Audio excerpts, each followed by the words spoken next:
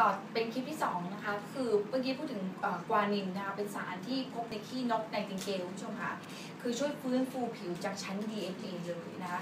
ปกติเนี่ยครีมบำรุงก้อยก็จะฟื้นฟูผิวชั้นที่หนึ่งชั้นที่สองชั้นที่สามใช่ไหมค่ะแต่ว่ากวานินเนี่ยคือฟื้นฟูตั้งแต่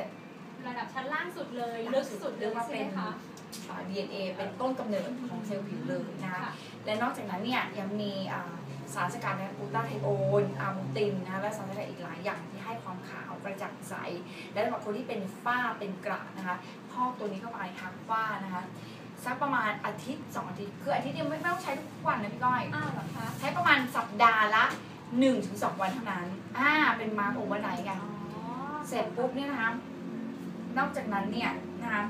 จะทำให้ผิวเนี่ย เรียบเนียนแล้วก็ขาวกระจ่างใสแล้วก็ยังมีไฮยาลูรอน ไฮยาลูรอนนี่คือไปพลิกดูเลยนะคุณผู้ชมคือเป็นฮิตมาก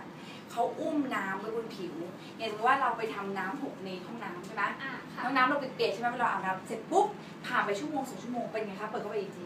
แห้แห้งงใช่เพราะฉะนั้นเนี่ยชั้นบรรยากาศแล้วก็ความร้อนในอากาศเนี่ยคือดูดน้ำเป็นอยู่เป็นเรื่องปกติอยู่แล้วนะน้ำในมหาสมุทรยังดูดได้แล้วน่าภาษาอะไรกับผิวเราแห้งแน่นอนแห้งแน่นอนทุกวัเลยแล้วหน้าคนเราคุณผู้ชมจะแก่เนี่ยเพราะว่าขาดน้ำก่อนเลยอันดับแรก กินน้ำไปเสร็จปุ๊บ แล้วก็จะกินคอลลาเจน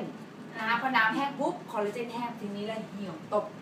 ฟรึ้มเลยใช่เป็นหมาบูลด็อกเลยอืมนะนิดนึงเพราะฉะนั้นไฮยาลูรอนคุณผู้ชมไปดูนะอ่าอ่าผลิตภัณฑ์ที่เพิ่งออกมาใหม่เนี่ยคลิกดูเลยเขาจะมีไฮยาลูรอนแทบทุกตัว และคาว่าด้วยอ่านะคะ